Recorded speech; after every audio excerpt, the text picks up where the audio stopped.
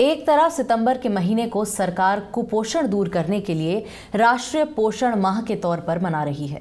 दूसरी तरफ़ भारत के आदिवासी बच्चों में कुपोषण लगातार बढ़ रहा है।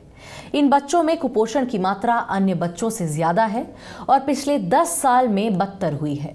लगभग 70 फ़ीसदी आदिवासी बच्चे कुपोषण का शिकार हैं। ये एक सरकारी रिपोर्ट में सामने आया है।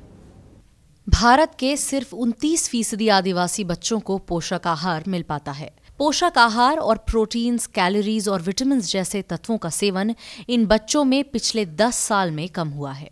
स्वास्थ्य मंत्रालय और जनजातीय कार्य मंत्रालय द्वारा 2013 में अभय बांग की अगुवाई में बनाई गई 12 सदस्य कमेटी की रिपोर्ट में ये सच सामने आया है। प्रोटीन और एनर्जी की संतुलित मात्रा के आहार का सेवन आदिवासी आबादी में बहुत ही कम है। सिर्फ़ 29 से 32 फ़ीसदी बच्चे और तिरसठ से चौहत्तर फ़ीसदी वयस्क पुरुष और महिला पोषक आहार का सेवन करते हैं।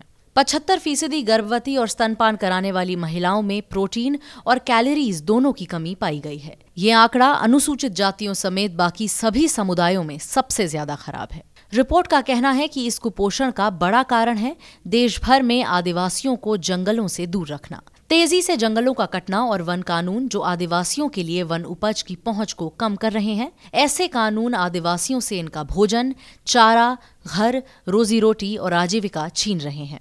रिपोर्ट का यह भी कहना है कि 2006 में वन अधिकार कानून आने से पहले तक आदिवासियों को वन संपदा से वंचित रखा गया था, जिसका असर गरीबी और कुपोषण था। हालाँकि 10 साल बाद आज भी इस कानून को लागू करवाने के लिए देश भर के वन समुदाय प्रदर्शन करते रहते हैं।